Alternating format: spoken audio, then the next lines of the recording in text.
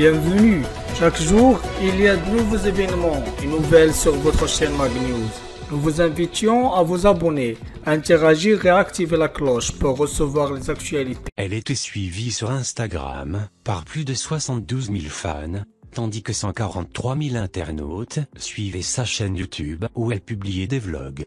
Mavachou, de son prénom Maeva, avait publié sa dernière vidéo il y a 8 jours et son dernier cliché, à la plagne, il y a 5 jours.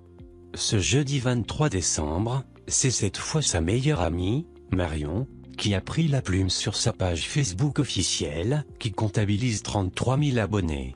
Elle y annonce la disparition de l'influenceuse, survenue ce mercredi.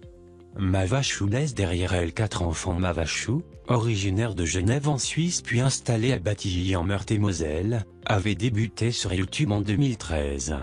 Elle s'y confiait sur sa vie de femme célibataire mais aussi de mère.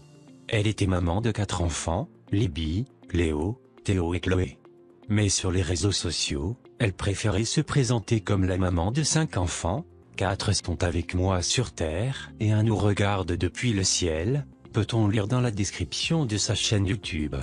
En 2018, aux côtés de son ex-compagnon Adrien, elle avait participé à l'émission On a échangé nos mamans sur NT1, se dévoilant aux téléspectateurs dans le rôle d'une mère stricte et ultra connectée. Mort de Mavachou, tu es en paix maintenant. Écrit sa meilleure amie sur sa page Facebook, son amie Marion a écrit ces mots, Mama Eva, ma meilleure amie. Je suis au regret de vous annoncer le décès de Maeva, survenu hier en fin de journée. Je vous demande de respecter sa famille en ne cherchant pas à en savoir plus. Cela ne regarde que ses proches. Ayez simplement une pensée pour elle et surtout pour ses enfants. Avant de s'adresser à sa complice disparue, Maeva, tu vas me manquer, je t'aimais, je t'aimais, je t'aimerai pour toujours. Tu fais partie de moi à jamais. Adieu ma chérie. Tu es en paix maintenant. Une publication qui, comme elle le précise, a été validée par sa famille.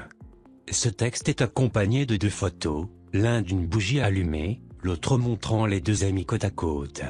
Selon Jrem Star, la mère de famille subissait un harcèlement en meute.